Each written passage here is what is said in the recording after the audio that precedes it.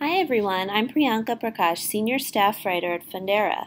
Today I'll show you how to fill out IRS Form 2553, Election by a Small Business Corporation. The most common use for this form is for a limited liability company, LLC, or C corporation that wants to be taxed as an S corporation. If you correctly complete and submit this form on time, the IRS will treat your business as an S Corp for federal income tax purposes. This means the profits and losses of your business will pass through to the owner's personal tax returns, and the business itself will not pay an income tax. Now, before you even fill out this form, you should make sure that you meet the requirements for electing S Corporation tax status.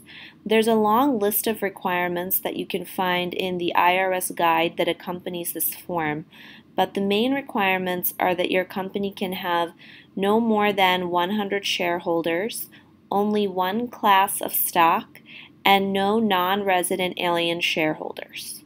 Okay, let's get to the form now. Part 1, Election Information, starts with some basic business information, such as your business name, address, and EIN number.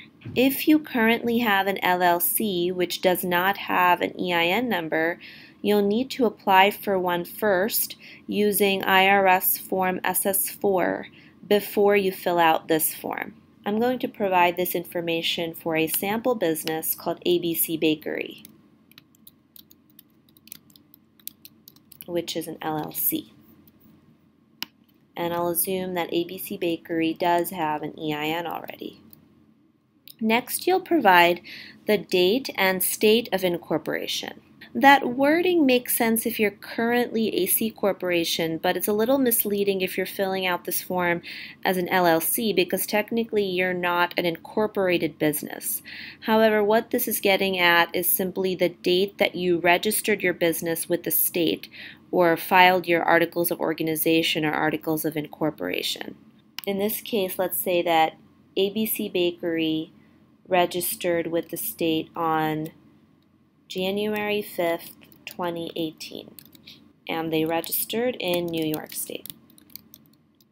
After applying for an EIN, if your business changed its name or address, you would check off the applicable box in item D. If not, skip this item and move on to item E. Item E is important because you'll need to provide the tax year in which your S Corp election is to take effect.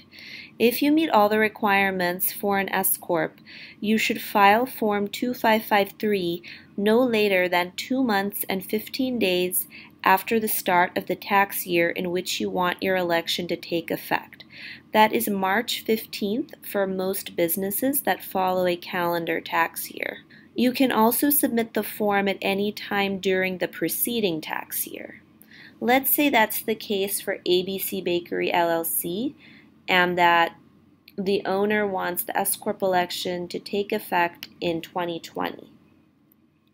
In item F, choose your business's tax year, which for most companies will just be an ordinary January 1st to December 31st calendar tax year. You might choose a fiscal year if you have a seasonal business uh, in which the tax year ends on a day other than December 31.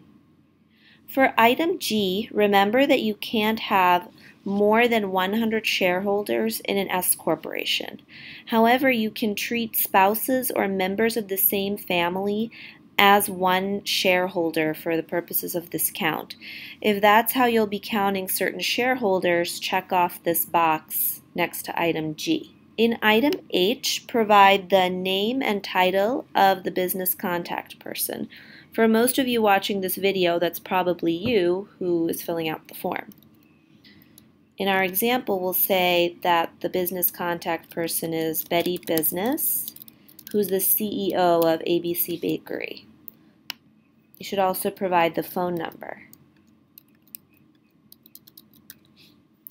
Item I is where you would provide an explanation if you are filing Form 2553 after the deadline. In order for the IRS to accept your late filed Form 2553, you have to provide reasonable cause for the delay. For example, maybe you did not understand the rules about the deadlines or your accountant failed to file on time. The IRS will often accept such explanations as reasonable cause from a small business.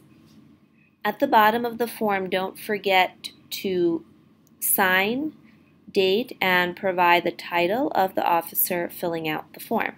You can't sign and date until you print out the form, so I'm going to leave that blank for now and just provide Betty Business's title. Before you continue, make sure that on the next page you provide your business name and EIN again at the top so the IRS doesn't lose any of your paperwork. In this table, you'll enter the name and address of each shareholder who's required to consent to your S Corp election. Your corporate bylaws or operating agreement should identify who is required to provide consent. But in most cases, you'll need approval from all current shareholders or owners of the business, and they'll need to sign the form in this section. If you need more rows than what is provided on this form, simply print out additional copies of this page. Most of you watching this video will probably just fill out a few of these lines. Now, if you're structured as an LLC, you don't have shareholders, you have members of the business, and you would provide their names and percentage of ownership instead of share information in this section.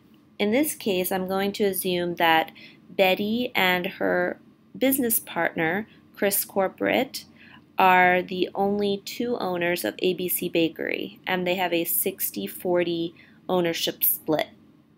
Here I'll provide information for both of them. I'll assume that Betty Business acquired her percentage of ownership on the day that ABC Bakery was formed. And I'm going to provide her social security number in column M. This last column is most important if the shareholder or owner is a company. If it's an individual, the tax year almost always ends on December 31. And that's it for the table in this case. You'd also want to remember to have both Betty and Chris sign here. Part 2 of Form 2553 applies to businesses that follow a fiscal tax year. You'd only fill out this section if you chose to check off either box 2 or box 4 in item F of part 1. This might apply to seasonal businesses or to businesses whose primary shareholders follow a fiscal tax year. But most of you watching this video will follow a calendar tax year and you can skip this part. Part 3 of Form 2553 applies only to businesses that are electing qualified subchapter S trust election under Section 1361D2 of the Federal Tax Code.